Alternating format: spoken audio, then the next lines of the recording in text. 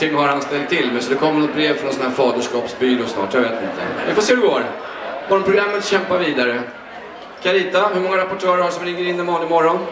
Så, nu har vi inte haft varken snö, väder eller vind som vi ser. i Lugndal runt 40-50. Mindre lugn dag så hamnar vi väl på ett par hundra. Tack Hur många ringer och bjuder ut dig en fredag? Ja, det beror på vad du har sagt innan. 1-0 till trafikredaktionen.